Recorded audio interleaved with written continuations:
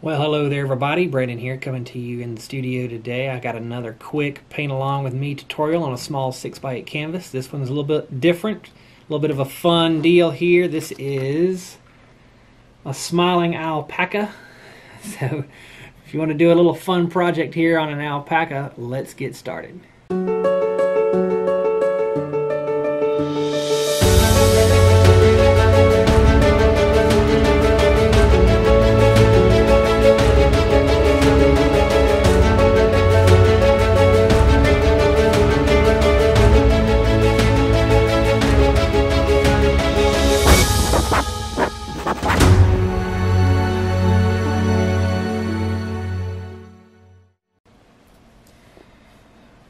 So what I have here is a small 6x8 canvas and we're going to do a happy little alpaca here. Got a friend that's all into these little guys, so we're going to paint one. So we got a happy faced alpaca pencil sketched in there and so we'll do a little happy background as well here. I thought about doing like a distant tree line or something, but I was like, you know, this guy here, he's smiling, he's goofy. He's going to be mostly like a light kind of tan uh, colored alpaca. So I'm just going to do a bright, happy, crazy background of some light purple and like teal green and light green and stuff. So you can do whatever makes uh, you happy with your smiling, happy alpaca. I'm going to go this route. So I'm just going to come in with a three quarter inch wash brush and I'm going to start with just some some light purple and come in here and just drop some color on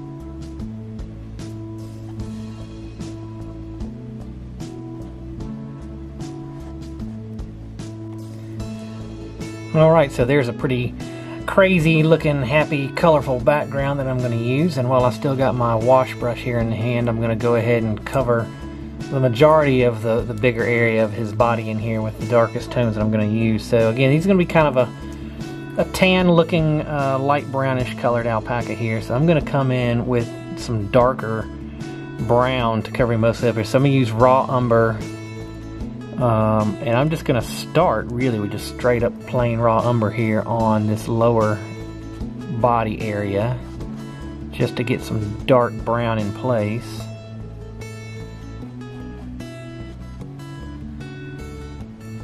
I can always tweak that a little bit if I want to, so I think I'm going to add just a hint of red into that. Just a little.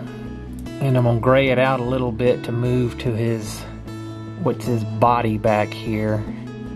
That's mostly his neck that you're actually seeing right here in the foreground.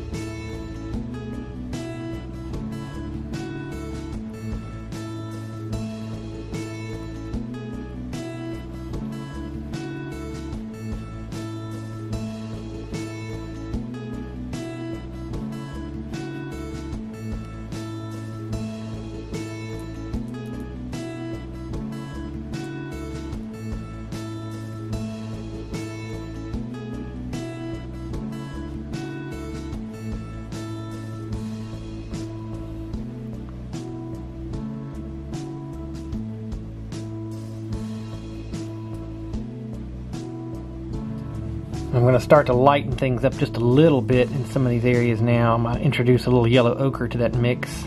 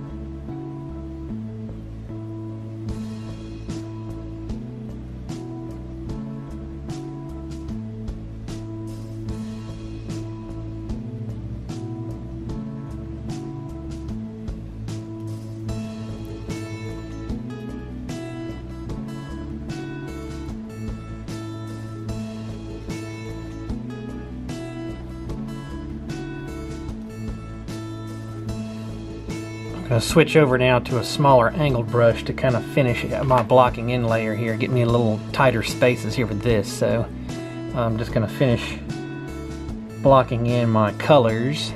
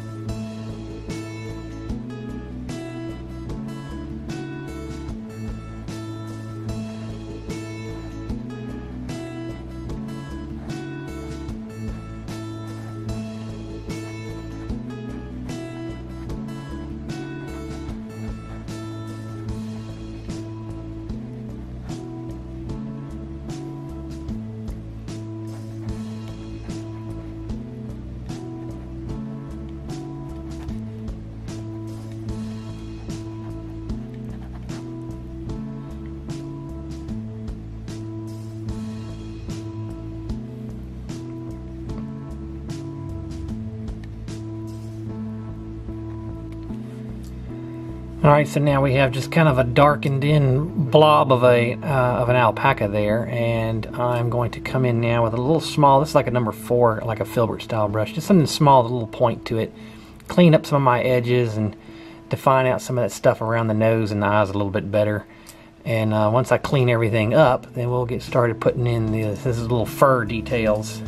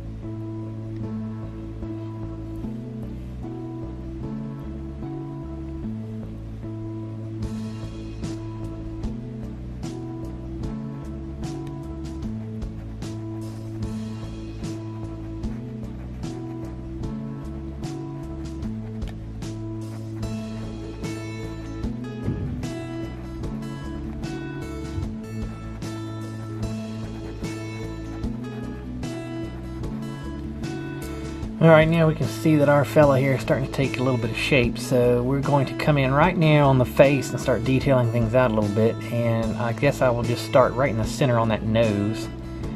And he's got the area above that little triangle in there, or I guess I should say that triangle, that's a little darker than the rest, so I'm going to darken that up a little bit more raw umber in there. Darken that area of the nose.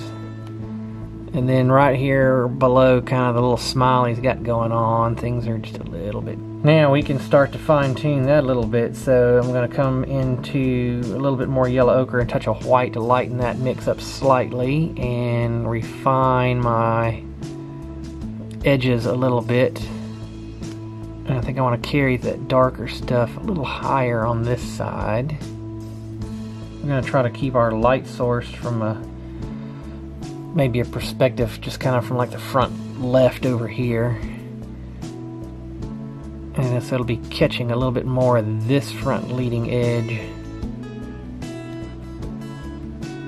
And a little bit more of this edge over here.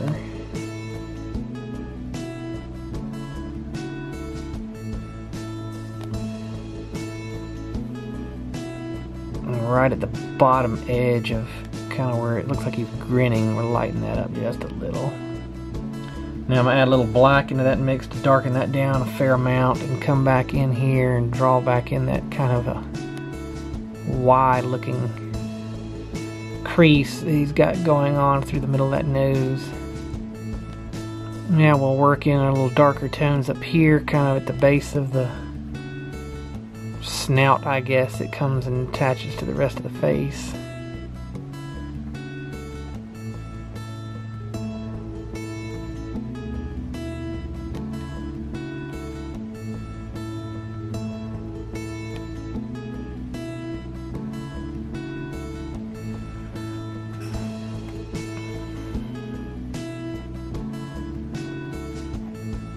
If we're saying our light source is kind of from the top left over there, we'll just lighten things up a little bit more on that side. So like through here, this fur off the bottom of the chin, we'll lighten it up a little bit on this side.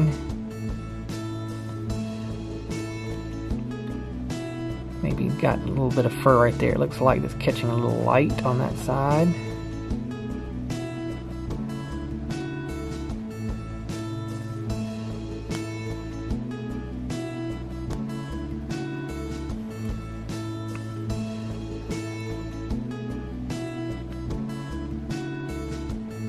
Get this area up here kind of between where his eyes are.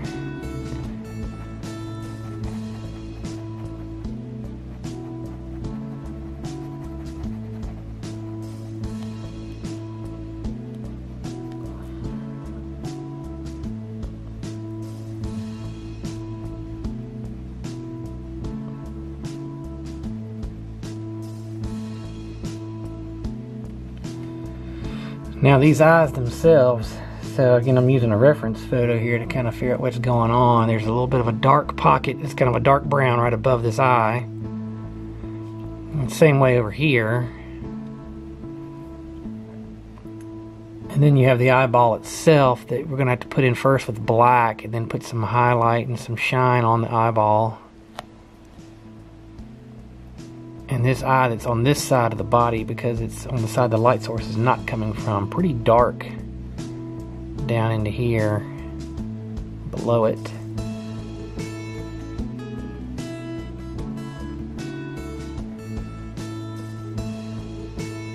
Now we're going to add just a little bit of white to that black there to just gray it out a little bit to put a little bit of a shine on the eyeball itself. And then add just a tiny bit more white to the tip of this brush to come in here and touch in kind of the reflections.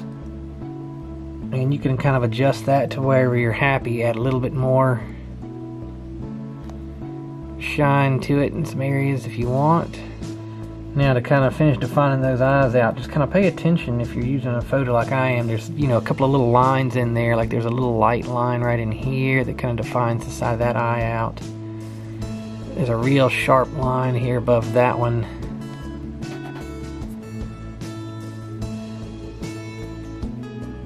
A little area of highlight around here on the face. And just a little bit on this back edge. And over here on the side our light source is coming from the top edge of this It's all pretty light.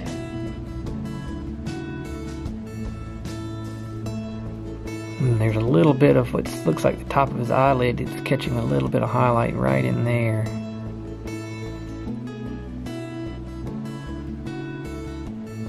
Now if we zoom back out of that, we can see that our guy's face is starting to take shape. I'm going to move now to an older angled brush that I've got that's kind of worn and frayed out from use to start doing some of this fur detail now. So around the face right in there, the, you know, the hair looks a little flatter, so we didn't worry about a lot of actual fur detail in there. We can fine tune that to our likings later on if we want. I'm going to start down here in the chest area and we just want to lay in lighter, kind of creamier tan highlights on top of that darker base. Let's see what we get. So I'm to go back into raw umber, a little bit of yellow ochre, a little bit of white, kind of tan it out a little bit. And we're going to lay a couple of lines in to see what our values are.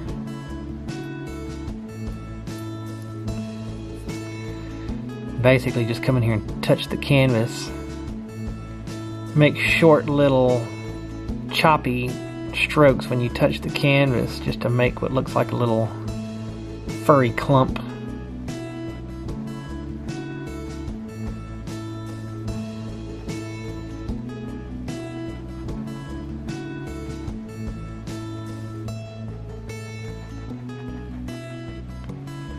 And see how we feel about our color. You can adjust it if you want, you can keep rocking it out. Uh, for now, I'm going to just go with this get some coverage in here.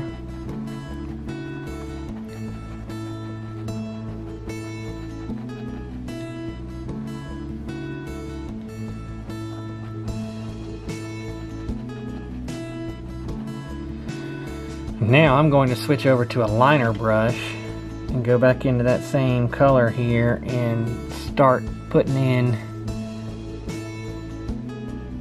little highlights that are a little tighter, a little more detailed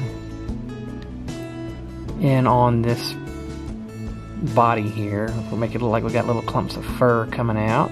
And I mean, this is one of those deals that you just detail it as much as you want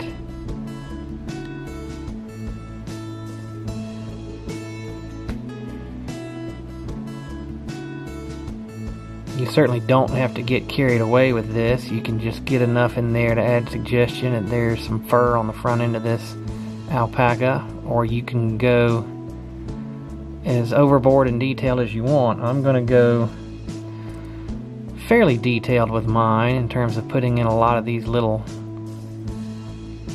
strokes with this liner brush here.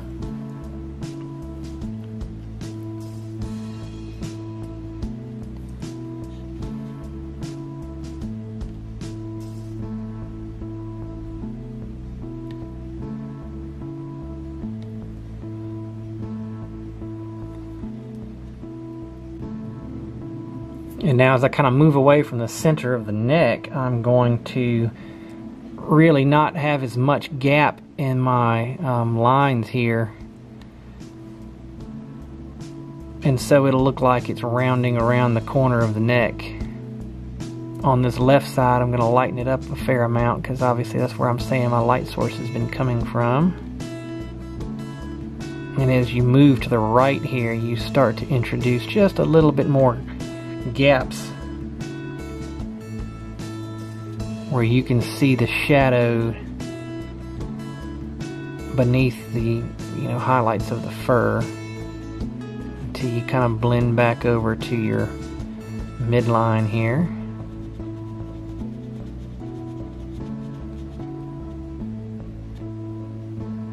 And the outer edge of his body back there we're going to highlight out a little bit too because again our light source is from over here so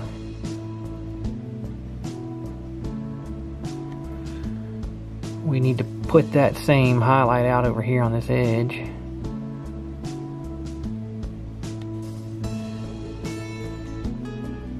Not going to have as much detail back on there because we're going to say that's his back of his body somewhere. Pretty much the same procedure on the right side. I'm just not going to bring in as bright of a highlight over here.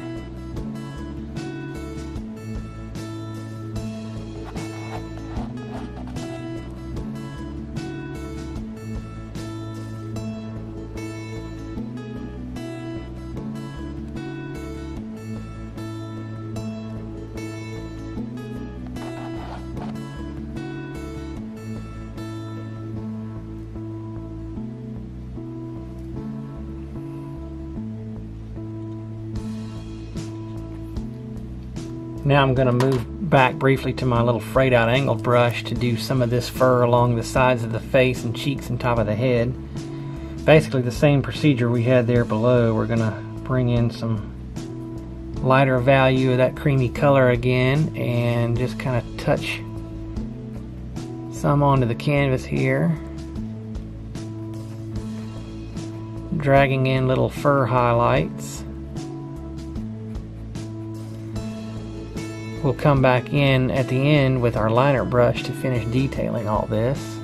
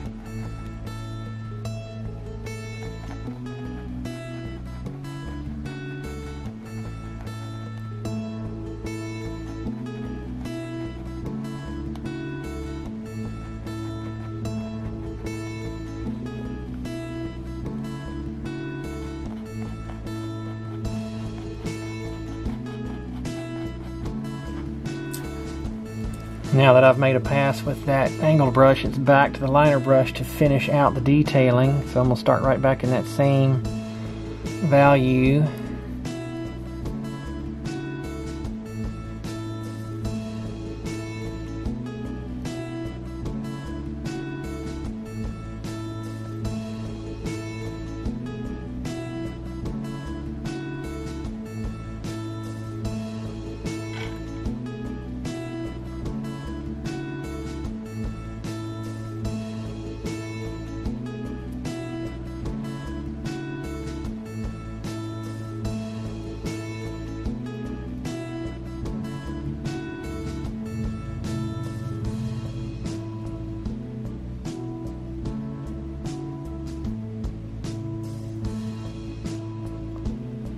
We'll highlight out the ears a little bit with that.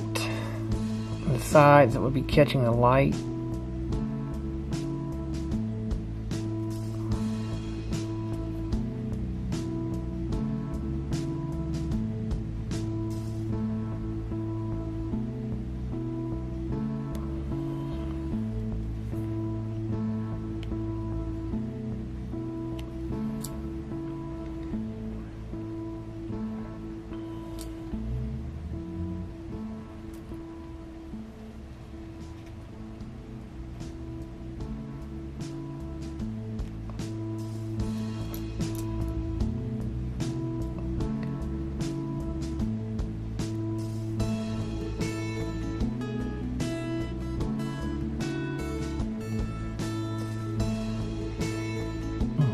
All right.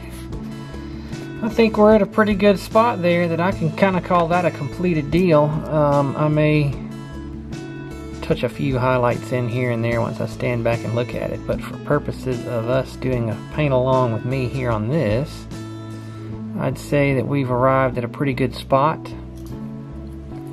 We'll call that one a finished happy smiling alpaca. Hope you had fun along painting with this one. Till next time, happy painting everybody.